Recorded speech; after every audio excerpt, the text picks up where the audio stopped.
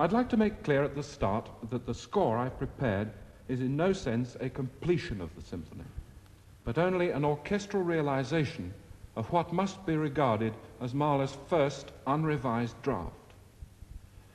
But this first draft is more comprehensive than has hitherto been believed. After spending months deciphering the facsimile of Mahler's chaotic manuscript, I found it to be a full-length sketch of a five-movement symphony in F sharp with continuity from beginning to end, however tenuous in places. To prepare it for performance involved a few conjectural readings, some conjectural filling in of missing notes and chords, and a lot of conjectural orchestration.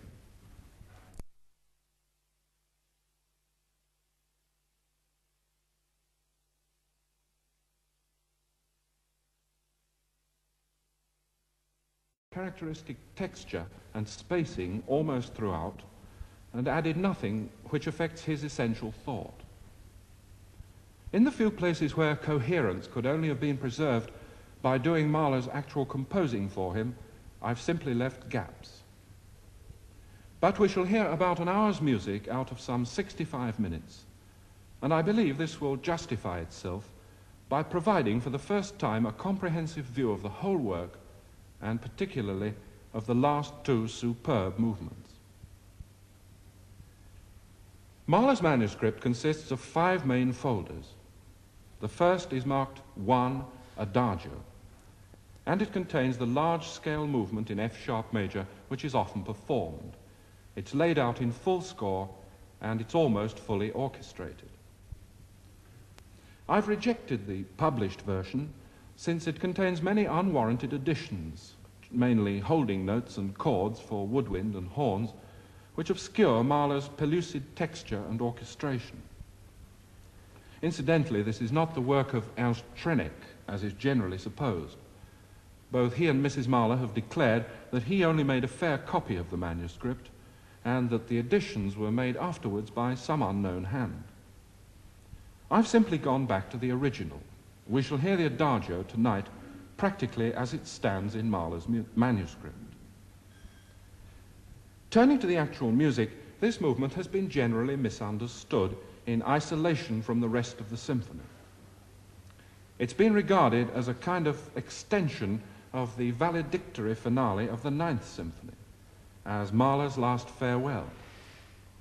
In fact, it's no farewell at all, as we shall hear, but the preludial movement of a new symphony raising questions which are resolved by the later movements. In view of this, Berthold Goldschmidt is adopting a rather more flowing tempo than the funereal one previously considered appropriate.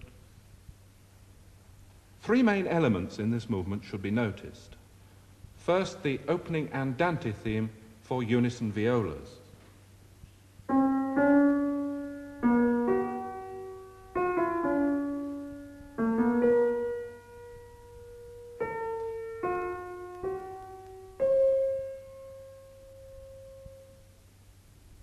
Brings this back at the climax of the finale. Second, the main adagio theme for violins.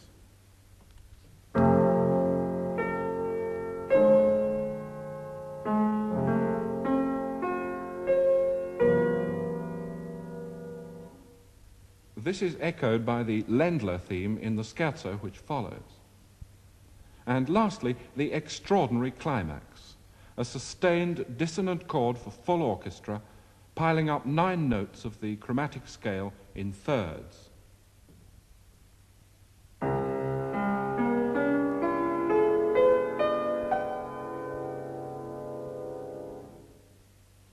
This has a harmonic influence on the fourth movement and will return in its original form at the climax of the finale. The second folder is marked 2 Scherzo, but Mahler originally marked it 2 Scherzo Finale. It seems certain that he did this before he'd conceived the last three movements. In other words, that he originally intended a symphony in two movements only. This is borne out by the fact that the two movements are in the same key and complement one another in character. So, as in the case of other Mahler symphonies, we have a work in two parts. And this big symphonic scherzo counterbalances the opening adagio and brings the first part of the symphony to an end. Like the adagio, it's laid out in full score, but the orchestration is incomplete, the texture's sometimes deficient, and there are three passages which are only vaguely sketched in. About three quarters of this movement is sufficiently coherent to make its impact, and we shall hear this in four separate sections. The first section comprises the scherzo and the first trio played continuously. The weighty scherzo material introduces an entirely new feature into Mahler's music. He was always fond of cha changing time signatures, but here the time signature changes nearly every bar. This technical procedure, which anticipated the rite of spring by three years, gives a remarkable terseness to the music.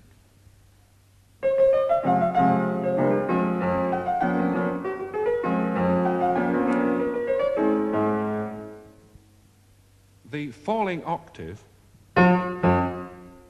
should be noted as it will recur in the fourth movement. The first 30 bars will be played as they stand, but when the first big climax approaches, the texture becomes deficient. Here's the passage in question, played by the orchestra exactly as Mahler wrote it.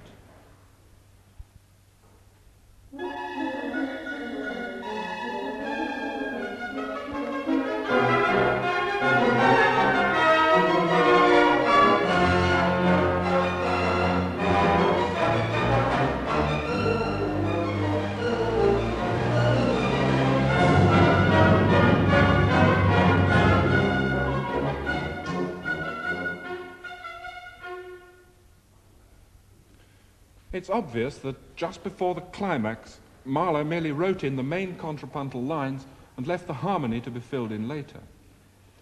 Acting on a hint supplied by one bar of horn chords, I've added some basic harmonies on horns and trombones, which allow the climax to make its effect without, I believe, intruding on Mahler's essential thought.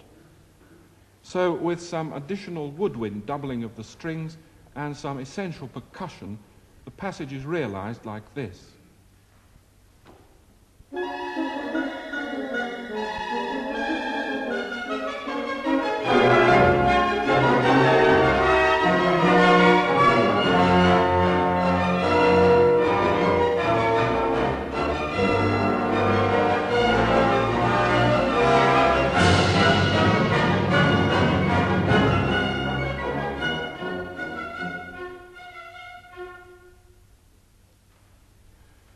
This climax leads straight into the first trio, which will be played practically as it stands.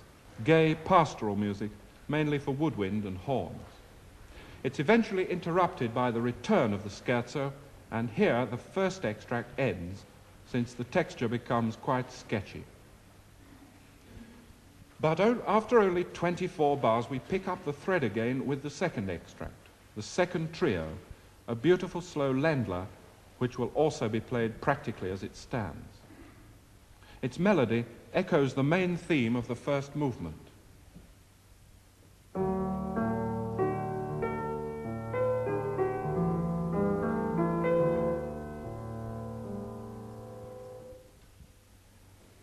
This second trio is also interrupted by the return of the scherzo, and here the second extract ends.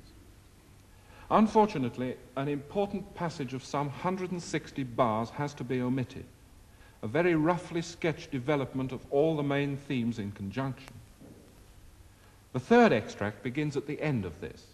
A solo trumpet strikes in with a beautiful slow version of the main scherzo theme, and this begins a ravishing slow episode. Most of this will be played as it stands, but for a few bars the texture's again deficient.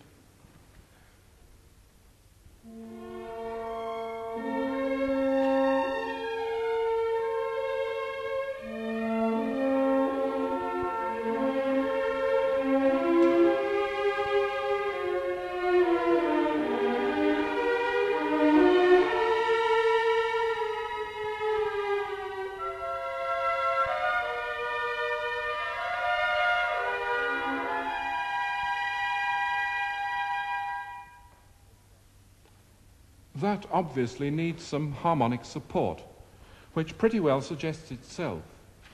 I've taken the preceding trombone harmonies supporting the trumpet, a bare fifth followed by a dominant seventh, and given them to bassoons and clarinets.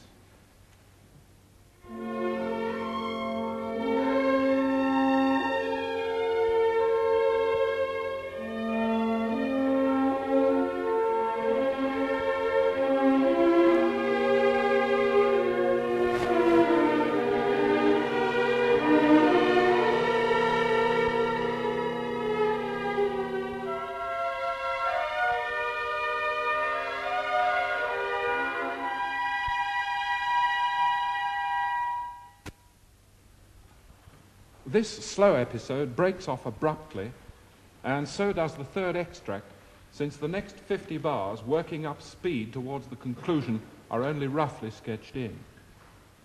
Then follows the fourth and final extract, the brief but brilliant coda.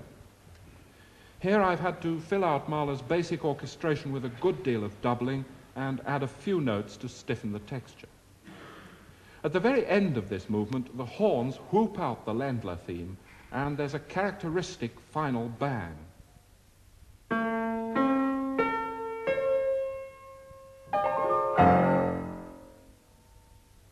Thus, the first part of the symphony ends with the main theme of the opening adagio transformed into a shout of joy.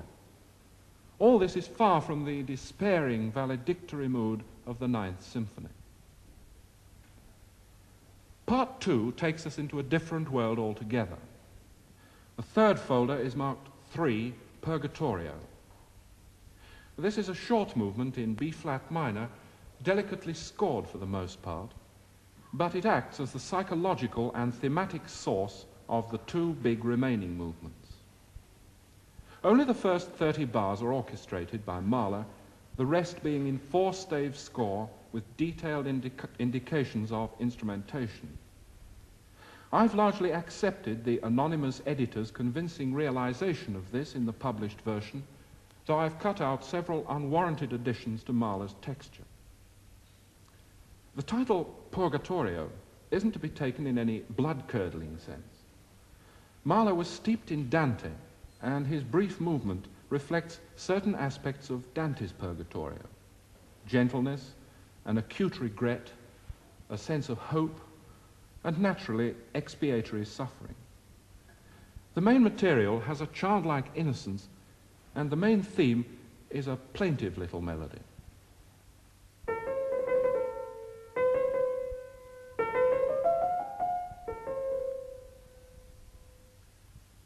This melody, in its full form, contains the thematic germs of the last two movements.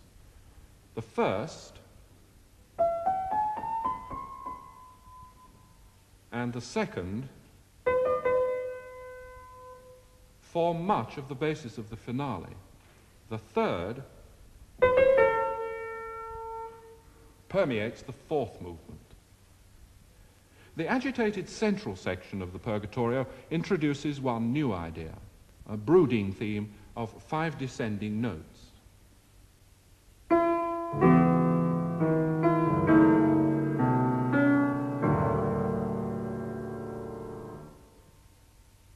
Against this, in the manuscript, Mahler wrote the words death, transfiguration. Later, it rises twice to a great passionate outburst.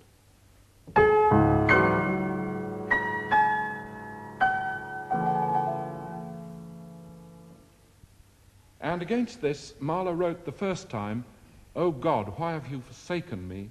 And the second time, Thy will be done. At these points, the purgatorial significance of the movement becomes clear. This theme also, in both versions, is used as a basic motive in the finale. The opening section returns, and the movement seems to be approaching a quiet but radiant conclusion, like a sunlit remembrance of childhood happiness, when there's a sudden nightmarish upheaval and a final statement of the figure which will permeate the next movement.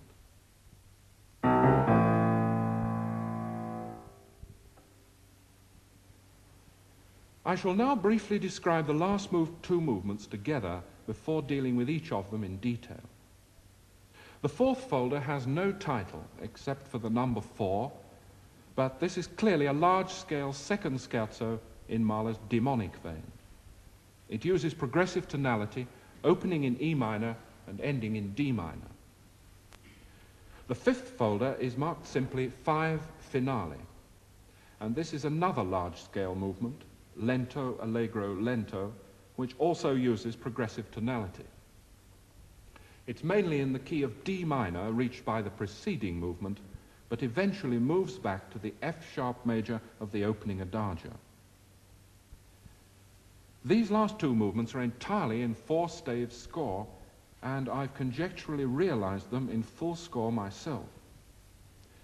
It might seem folly to attempt to orchestrate for Mahler, but that isn't exactly what I've done. There are indications of instrumentation very few but very significant, and in any case, the music is obviously conceived in terms of orchestral sound. By studying every aspect of it, the compass and character of melodic lines, the implicit tone color of harmonies, and so on, I believe that I've divined the general orchestration Mahler had in mind to within about 80%. Naturally, one can't go on from here to conjecture Mahler's whole fascinating new world of sound but I've tried to imitate his orchestral style as far as possible by studying his other scores. I'm greatly indebted to Berthold Goldschmidt, who, made many, who suggested many striking improvements to my first draft in the matter of significant detail, but the responsibility for the whole general layout is mine. We shall hear examples in a few moments. The fourth movement is one of Mahler's most fantastic conceptions. From the Purgatorio, we descend into the Inferno, as it were. Mahler didn't provide a title, but the diabolical mood of the music is ratified by the words he wrote on the cover of the folder, The devil is dancing this with me. Madness seize me and destroy me. We shall hear four-fifths of this movement in three extended sections. The first comprises the opening statement of scherzo and trio. Although there's no tempo marking, the scherzo is clearly a ferocious allegro pesante in much the same vein as the opening Trinklied of the Song of the Earth. The movement begins with a motto of three chords related to the great dissonant chord of the first movement, and for these, Mahler specified wind, horns, and trombones respectively.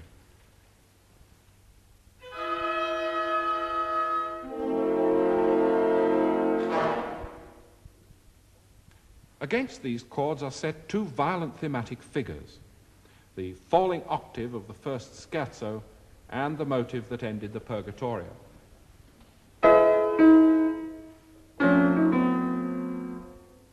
These are then converted into the furious main theme.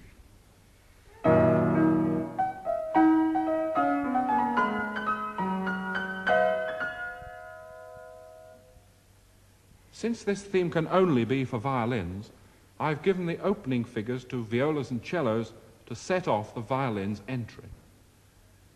And on Berthold Goldschmidt's advice, I've added flutter-tonguing trumpets to the opening wind chord, as in the Song of the Earth, and brought in side drum and xylophone, as in the Sixth Symphony. For the rest, I've tried to imitate Mahler's characteristic shrillness. This is how the opening of the movement has been scored.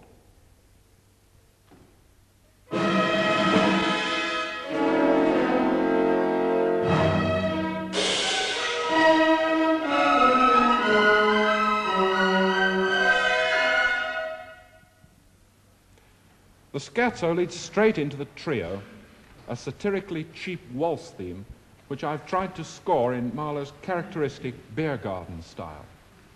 And at the end of this, the first extract stops. But the gap is only 10 bars, a very sketchy link back to the much modified restatement of both scherzo and trio, which forms the second extract. Here, the two elements intermingle in conflict. The scherzo becomes very much like certain lamenting passages in the Trinklied of the Song of the Earth, while the waltzing trio blossoms and expands symphonically. At this point in the manuscript, the waltz tune has a counter theme and mere block harmonies.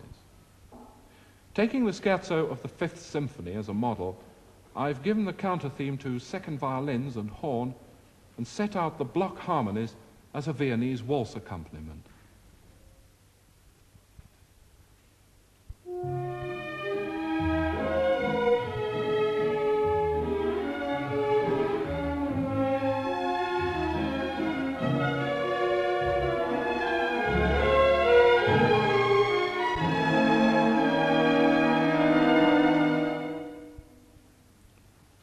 After the restatement of the trio, the second extract breaks off, since the next hundred bars, a subsidiary central episode, aren't properly composed.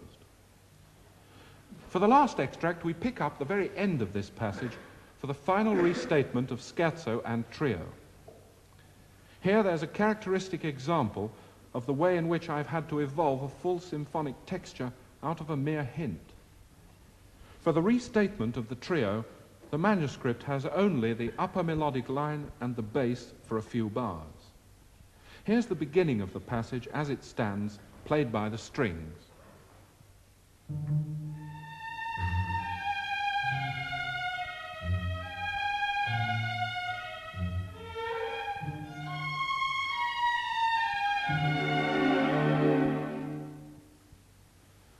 Mahler obviously here meant to recapitulate the passage we heard before, no doubt with counter theme and waltz rhythm. But the waltz melody has been changed slightly, so I've had to modify both counter theme and harmony a little to fit the new context.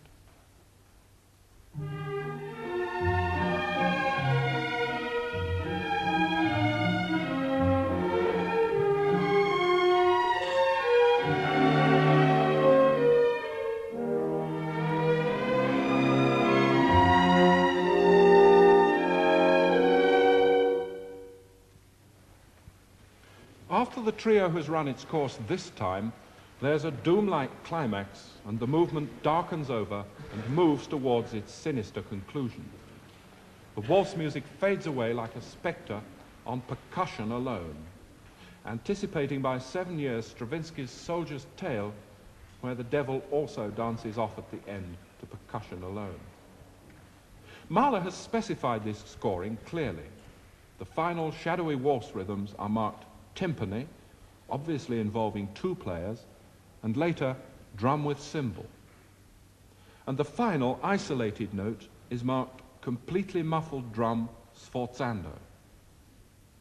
Mahler actually heard this last deathly sound at a funeral in New York and was so profoundly moved by it that he incorporated it here.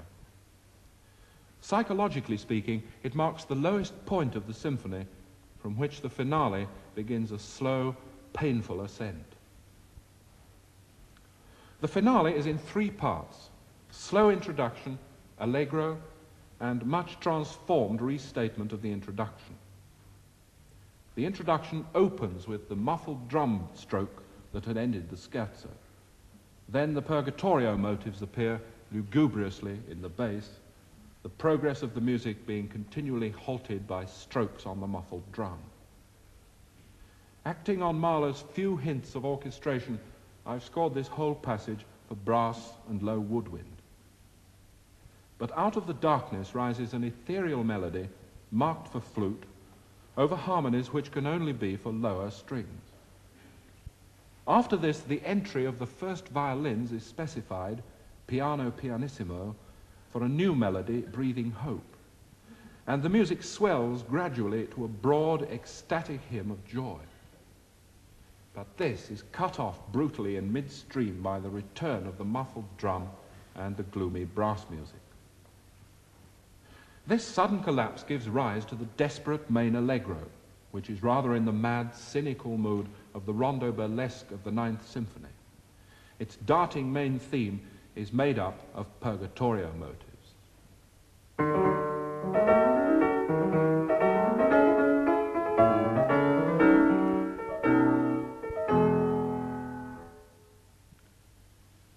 There's a contrasting idea, a satirical version of the gloomy five-note purgatorio motive.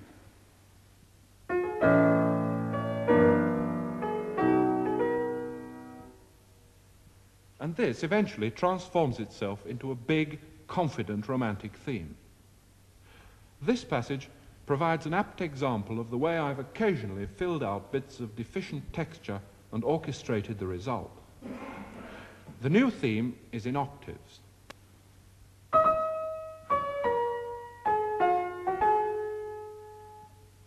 And it has a counter theme also in octaves.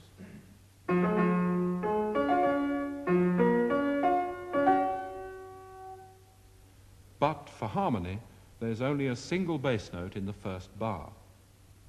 Here's the passage as it stands, played by the strings.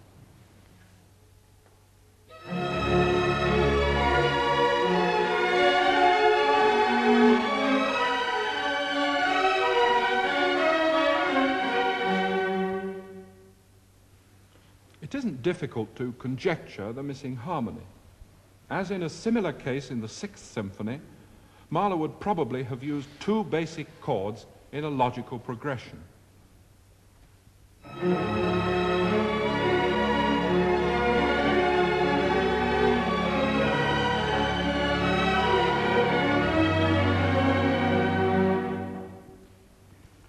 But the context and Mahler's marking of fortissimo indicate a full orchestral tutti in his characteristic style violins and woodwind on the upper theme, horns and trumpets on the lower one, and trombones and lower strings on the harmonies.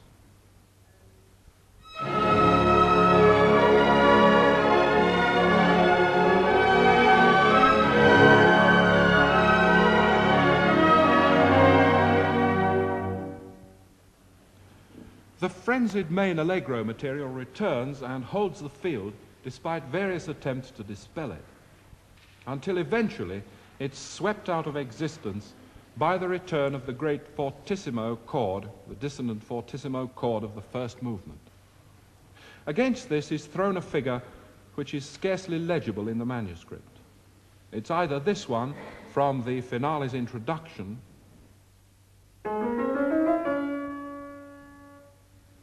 or the main allegro motive derived from it. I've chosen the latter as best suiting the ferocity of the climax and given it to the brass. When this chord leaves off, a high note is left hanging on, marked trumpet, and the opening viola theme of the whole symphony enters, marked horn. The wheel has come full circle. The transformed restatement of the finale's introduction begins pianissimo. This restatement ignores the lugubrious opening of the movement and takes up the hopeful violin theme. And here there's a passage which provides an example of how whole sections of the music score themselves. In the manuscript, it's essentially a five-part texture with certain melodic and harmonic gaps in the lower parts. Here it is, as it stands, played by the strings.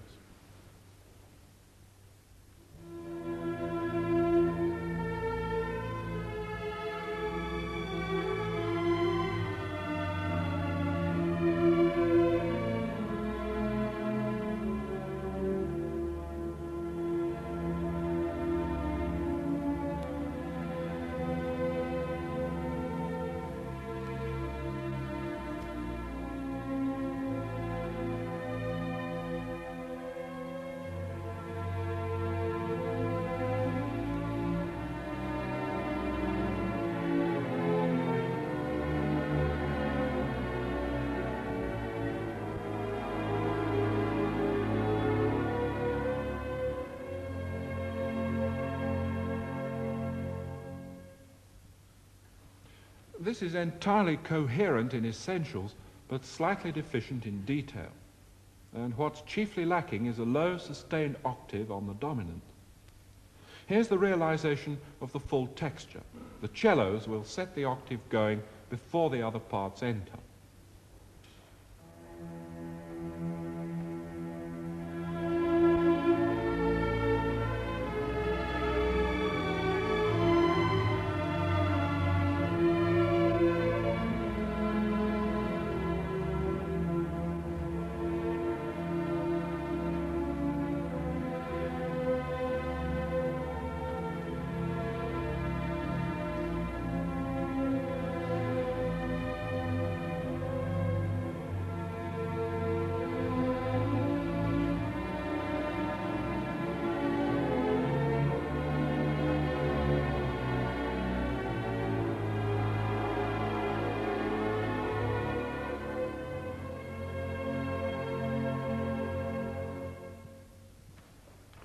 But this isn't string music.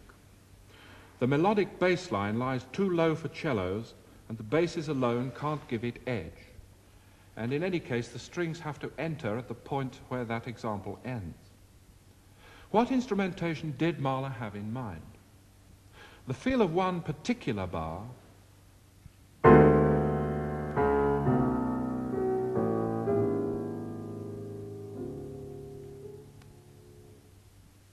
brought to my mind the solemn sound of Wagner's music for horns and tubas in the ring.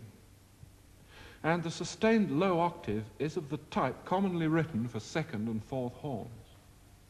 Furthermore, the bass tuba is the only instrument which can articulate the melodic bass line clearly, and the two upper parts form a characteristic dialogue for first and third horns. So the passage scored itself for four horns and tuba with the first clarinet on the obligato sixth part in the first few bars. And what had at first sight seemed a rather insignificant passage sprang to noble life in its true brass sonority.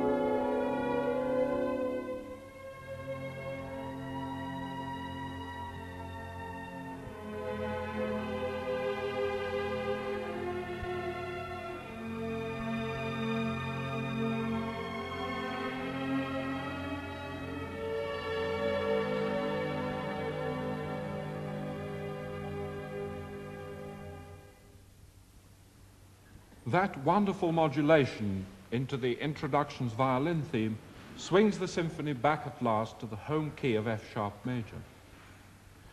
The closing pages rise to the highest level of passionate affirmation as all the violins, firsts and seconds, give out the introduction's flute theme fortissimo. Mahler specified this scoring. But the movement gradually attains to a great serenity of spirit, touched by resignation. But unlike the endings of the Song of the Earth and the Ninth Symphony, this music isn't a valediction, but a kind of benediction. The troubled purgatorio motives undergo one final blissful transformation, and at the very end, the falling five-note motive swells out and dies away again, like a great sigh of contentment at finding peace at last. The finale has risen out of the inferno, as it were, back through Purgatorio into Paradiso. Over the final bars, Mahler wrote an avowal of undying devotion to his wife. So it would seem that in the end, he found salvation from bitterness and despair through the strength of human love. We will now have a short pause before the performance of the music, which I shall announce briefly section by section.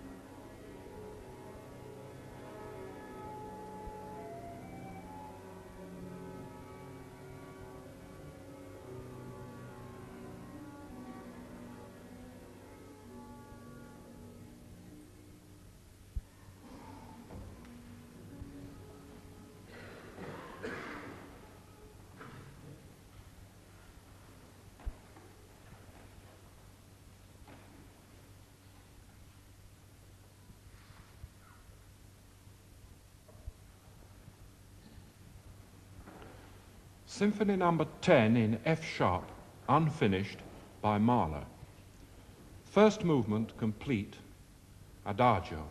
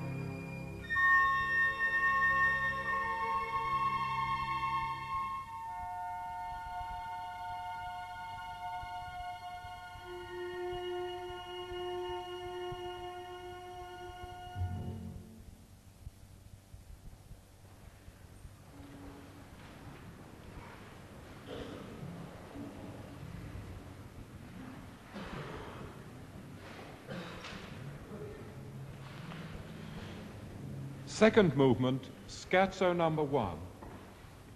First extract, opening scherzo material, and first trio, played continuously.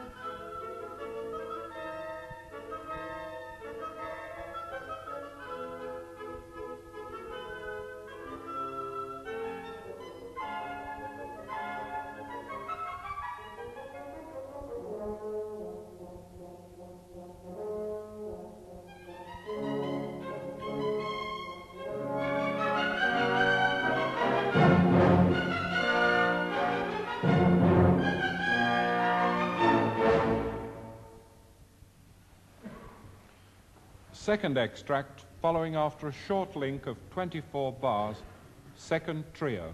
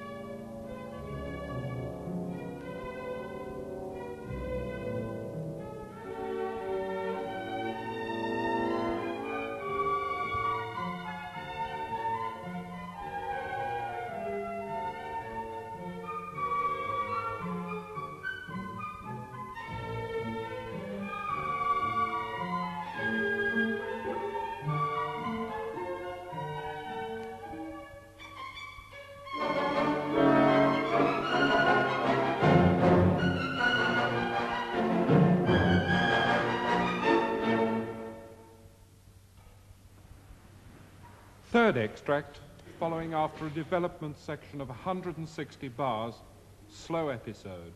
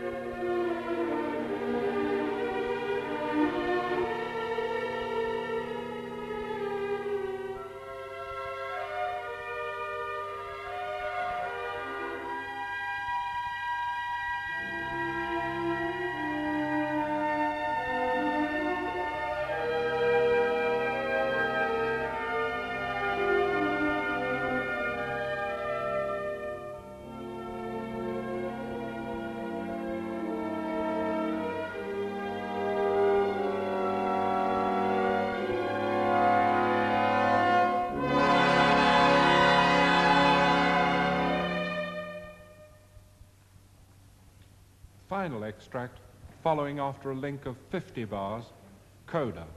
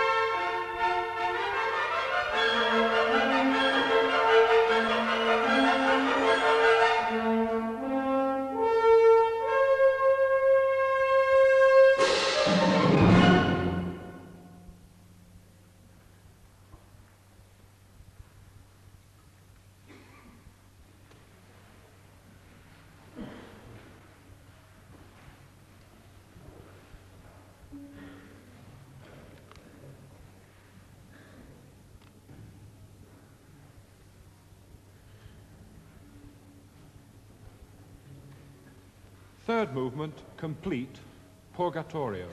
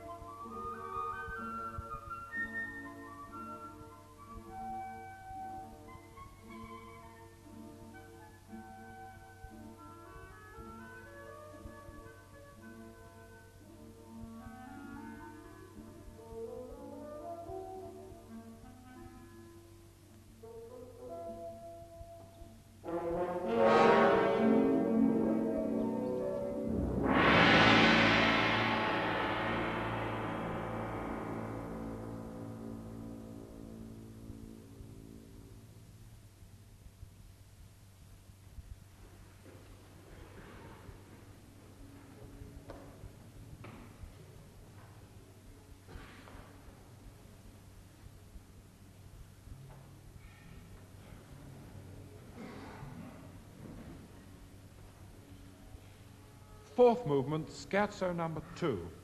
First extract, opening statement of scherzo and trio.